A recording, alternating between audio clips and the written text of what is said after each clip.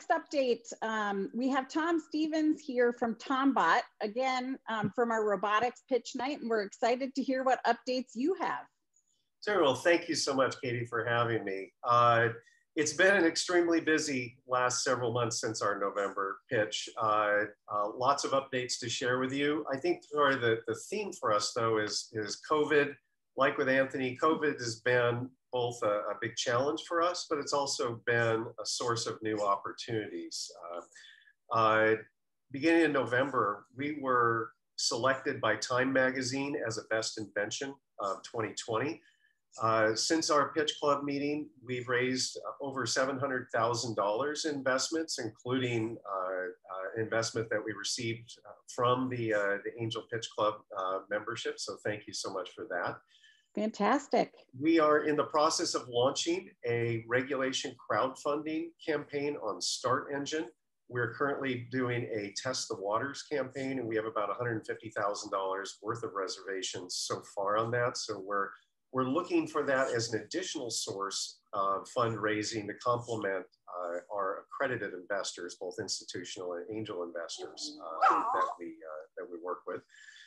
Uh, thanks to Time Magazine and other uh, media coverage that we received. We, we actually uh, appeared on Jeopardy uh, at the end of uh, November, one of the last episodes that Alex Trebek filmed before he was, uh, before he passed away. Wow. Um, we've added uh, over 3,000 customers to our wait list to a total of over 8,000 now.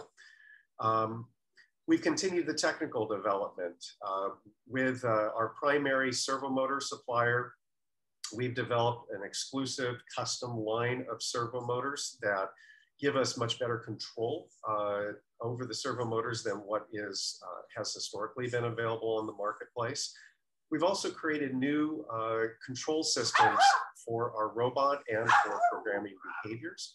We've completed the logic for detecting safety errors and recovering from those safety errors. Uh, for robots in our class, we will be the, the safest robot on the market. And we've landed two more uh, clinical study partners, one of which is Cleveland Clinic. Uh, give us now a total of four uh, clinical study partners, all of which will be used for making uh, uh, uh, FDA filings in the future, as well as advancing the peer-reviewed data that's, that's out there on the efficacy of robotic animals. Um, sort of the, the, so the good news is we've become much more relevant during COVID. Uh, we won an award from Aging 2.0 on mitigating social isolation and loneliness in seniors. So that was that was a great win. Um, the downside is fundraising's been a real struggle. Um, we've had a lot of institutional investors pull back from investing in new companies. They've reserved their capital for investing in their existing portfolio. So it's been a challenge raising the money that we need to advance the company, but we've had more success here in the last six months or so, and, and uh, it's been enough to continue to fuel the company. And, uh, and right now we're raising a $5 million uh, Series C preferred round to take us the rest of the way to first customer shipments. Great. Well, that's very exciting. Lots of exciting things happening. Congratulations. Thank you. Um, a couple questions for you. Um, talk a little bit more about these clinical study partners and what are the outcomes you're looking at with them? Uh, so great questions, and I'm, I'm not at liberty to discuss any details, but the I can tell you that all of these uh, studies are in the acute care setting. Um, and we're looking at demonstrating the efficacy uh, of robots for different patient populations, primarily seniors, uh, uh, in, the, uh, in the acute care setting. So I'm, I'm going to make up some of that might be even just reduction of anxiety and pain. And I, I know you're not at liberty to say, but I'm just going to put that out there as a guess. And some of those, if you're looking at that setting, that's probably a lot of it, I would think you know, I, I, can share with you a story, uh, an anecdotal story. Um, my mother, uh, who suffered from Alzheimer's dementia and was the inspiration behind Tombot, she fell and broke her femur uh, a couple of years ago and was hospitalized for about six weeks. When she was first admitted into the hospital, whenever a medical professional would enter her room, she would scream in terror thinking oh, that that medical professor, a professional was there to hurt her worse. She was non-compliant with any medical treatment and required physical restraints for the medical professionals to get anywhere near her. I went and got her prototype robot from home and uh, brought it to her and she hugged it very tightly to her chest and she said bob she named her prototype bob bob is helping me relax she was still afraid she was still uh, in a lot of pain but from that point forward she was medically compliant uh, she was allowed the medical professionals to do their jobs and so we're we're looking at building the, the peer review evidence that, that shows that these, these, uh, uh, these robots can make a real difference for people like my mother. Yeah, that is, that is super exciting. And you said 8,000 customers wanting this product, um, which I understand is still a little ways away. Um, I, am sure you've heard stories from many of these people, and what, what are their hopes um, that this robot is going to be able to do for them? Yeah, one of the most uh, gratifying parts about this company and, and, and having is having the opportunity to talk to customers and hearing their stories.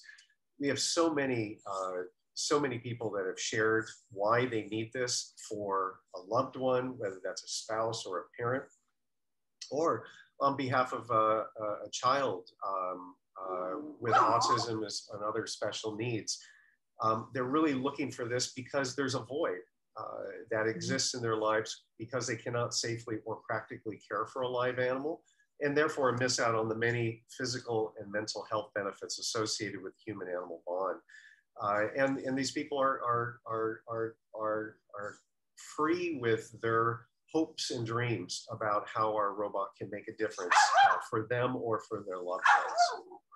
Well, that again, super exciting. I, I love what you're trying to do. Um, you know, and I and I think about the pandemic, and I do have a live animal. I have a dog, um, and I, I love the term quarantine mate because he's been with me, um, you know, through the entire times that we have been quarantined. Um, you know, unofficially, unable to go a bunch of places. Luckily, I did not get sick or actually quarantined, but um, it's been nice to have him. So I completely get it, um, and and it's very exciting. So I'll ask the same um, question for you, Tom, around um, how can our network help? What what are you looking for, um, and how can we help you succeed and move this project forward? First and foremost, we're looking for investors. Um, we've been very fortunate to already receive a significant investment from an Angel MD uh, member. So thank you again for that. Uh, even though we're raising through regulation crowdfunding, we also accept direct investments over a certain minimum from accredited investors. So it's regulation D 506C is in Charlie. Um, uh, and so investment uh, really helped fuel us uh, along this path. Uh, secondly, advisors. Um, we are always looking for new indications, uh, uh new customer populations, uh, patient populations where we can make a difference. We, with our, we have had pre-orders for, um, of course, adults with dementia, seniors with dementia, but also um, anxiety, major depressive disorder, PTSD, chemical dependency, hospice settings, so palliative care, even when there isn't a dementia component. Um, uh, uh, and uh, just looking at you know chronic loneliness and things like that with other otherwise cognitively healthy um, adults and seniors. So if there are if there are advisors out there that have expertise in these areas or another one where they think that this might be useful, we would love to talk to you and and and get your input as it might help us develop the features and functionality to make sure our products uh, provides a medical benefit for uh, each of those populations. Fantastic. Well, thank you again for being here today and giving us an update. I have to tell you, like, the wheels are turning. As, as a pediatrician, you mentioned autism.